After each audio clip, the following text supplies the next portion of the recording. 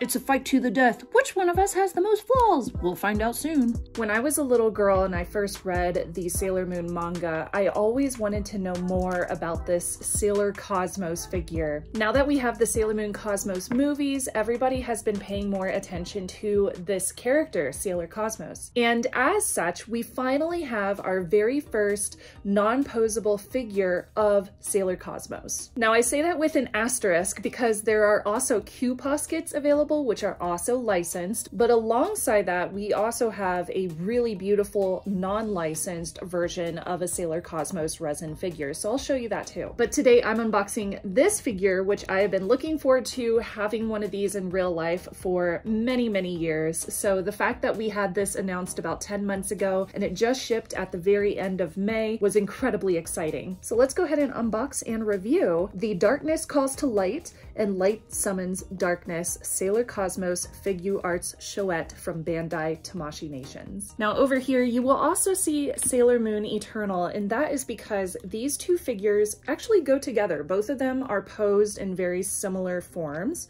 So you can pose them together, you can set them up in your collection separately. I also wanted to mention that yes, I did purchase two of the Sailor Cosmos figures. Reason being is because Bandai is known to have a lot of paint flaws in these Figuarts Chouette figures. I've been purchasing all of my figures from Japan, which does mean that I receive them earlier than the international releases come out, but it also means I'm being charged for that international shipping from Japan. Now, luckily, this is a fairly light figure, so the weight did not increase the shipping cost too much. And I appreciate that Bandai always puts them in these nice cardboard boxes whenever you purchase them straight from the Bandai website. Premium Bandai! So the first thing we see is this beautiful eight pointed star at the top, which is see-through. It's a see-through window, and it says Sailor Cosmos at the bottom with the name of this figure on, labeled on it. Let's take a look at the box. Okay, so here we have this beautiful window box of the Sailor Moon Cosmos figure from Bandai Namco, right there. We have the labels as we usually do, along with the Tamashii Nations quality sticker up at the top, which honestly, their quality is not that great, so that doesn't mean much. We have the gold Toei sticker sticker down here for it being a licensed figure. And of course we have the other labels down at the bottom as well. I like the gold foil that they did her name in. That's really pretty. Along the other sides are some beautiful prints of the Sailor Cosmos figure. In case you want to keep this in the box, this is a lovely box that you could keep her in. And because I did purchase this directly from Japan, there are no warning stickers for small items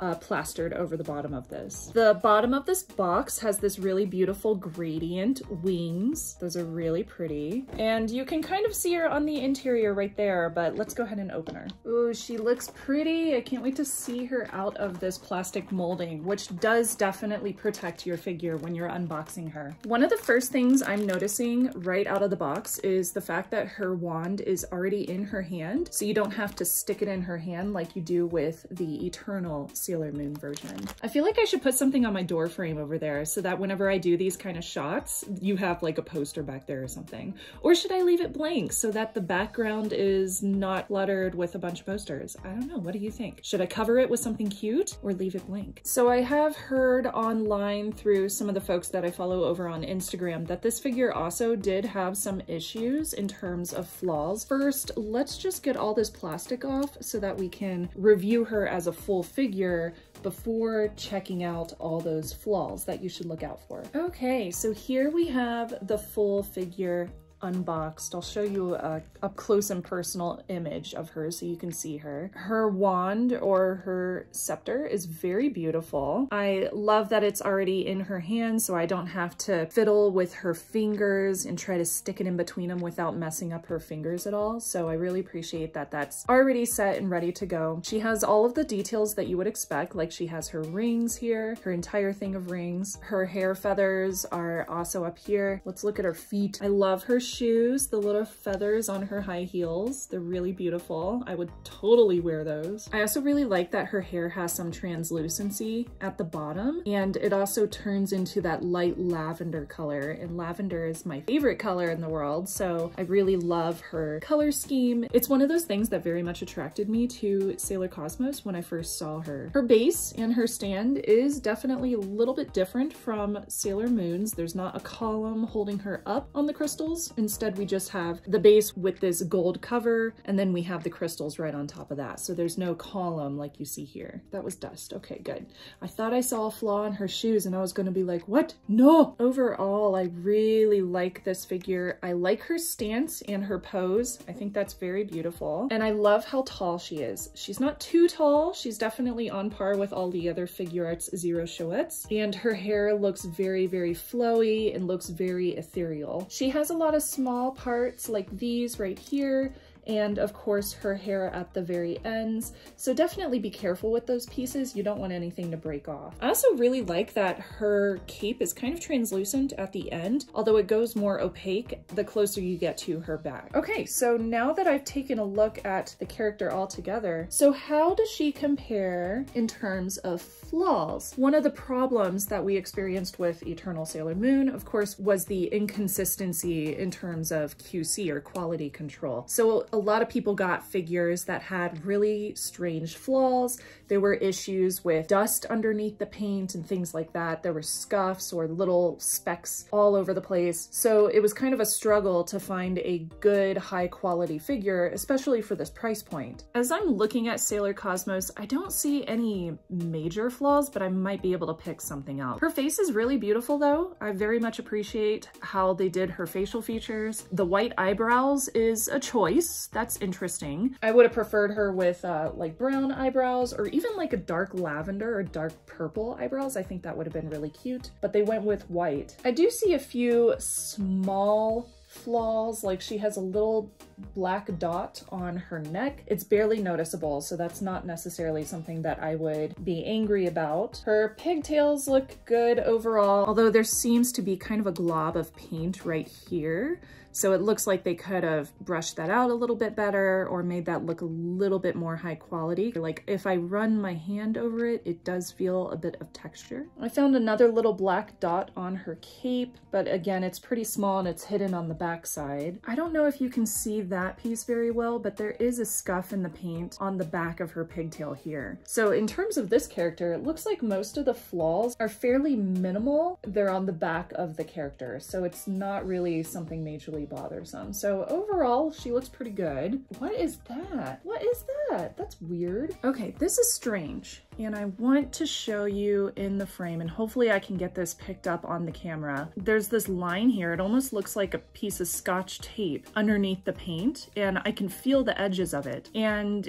it looks like they just painted over it. That's very strange. It's so hard to see though. It's incredibly hard to see unless you're like putting this up in the light. Why would somebody leave a piece of tape there? That's so odd. I don't want to like scrape it up and ruin the paint, so I guess I'll just leave it there, but that's so weird. If my memory serves me right, I'm pretty sure somebody on Instagram had also mentioned that they found a piece of tape under the paint. So if that's the case, then this would not be the only figure that had that problem. So that's definitely something to keep an eye out for. Okay, so now that I have checked her over for flaws, I also wanted to check her out next to Eternal Sailor Moon. So here's the two figures side by side. Now they are about the same height, which makes sense since they're both the same character. This is the same person, just different evolutions of this character. The crystals are definitely slightly different. On Eternal Sailor Moon, we have more of a pinkish color, and on Sailor Cosmos, there's more of a lavender color, so they are a little bit different there. However, the bases do make them pretty obvious that they are from the same line. They're both these darkness. What is it again? It's so long. It's such a long description. Darkness calls to light, light summons the darkness. such a long name. So you could definitely pose these together. I've uh, seen some folks put them together like this. I've seen some folks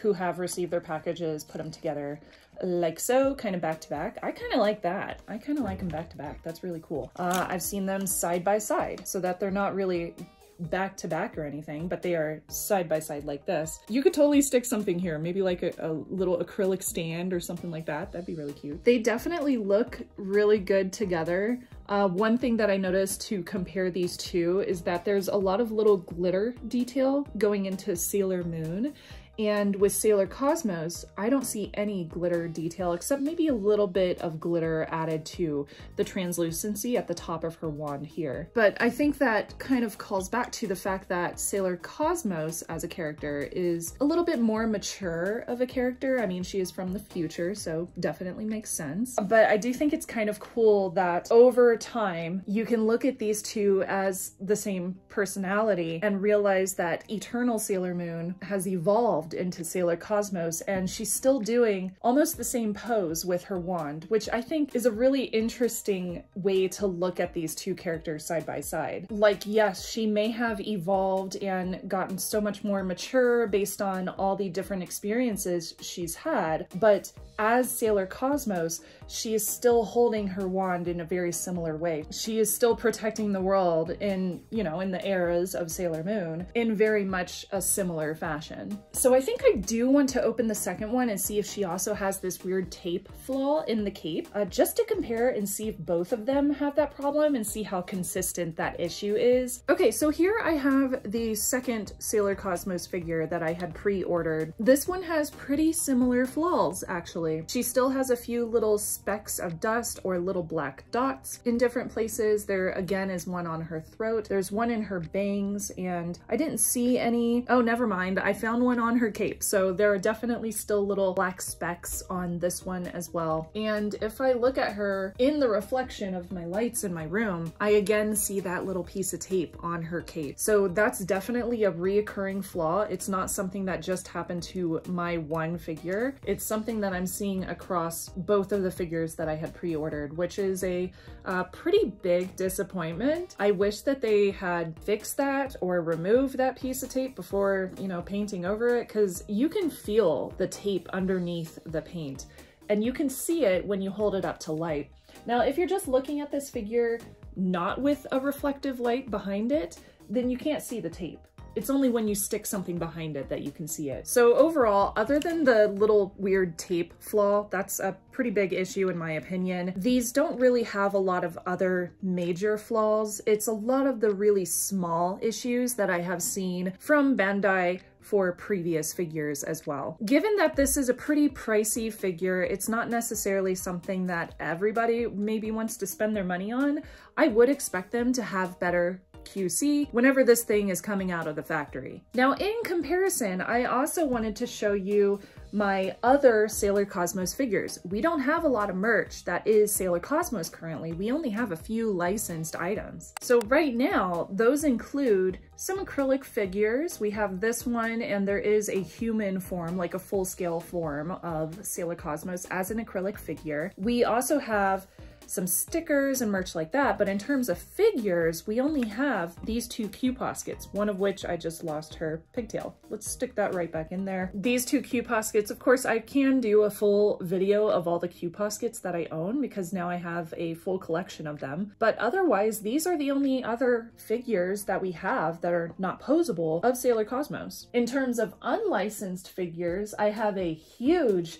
figure in my collection of Sailor Cosmos from Gawkabox, and I also also have a pin from Astral Pins. I actually have both variants of that pin, which is super exciting. So if you are collecting Sailor Cosmos items, then yes, definitely grab this figure. Even with the minor flaws, she's still very beautiful overall. And this is the only non-posable human form licensed figure that we have of Sailor Cosmos at the time of recording. If you don't want to spend the money on these figures since they are kind of pricey, then I would recommend picking up one of these. There are two different versions versions. She has different hand gestures for each of these, but there is an A variant and a B variant. Or you could just grab one of these really inexpensive acrylic figures if you can pick one up in Japan, because generally these are really hard to find overseas unless somebody is selling them third party. So that's my Sailor Cosmos figure. I would love to know what you think of the two that I purchased, and if you grabbed one, did you also have the tape flaw, or is that something that some people did not experience? I would love to know that as well. Like, subscribe, do all the fun things, and if if you want to know where this shirt came from, then definitely subscribe over on my Instagram, which is at Sailor Snubs. That's where I post about a lot of new merch that I may not necessarily make a video about over here. Thanks for watching. I'll see you next time. Jane! Yes, my hair is naturally curly. Sometimes I just leave it like this. Eh.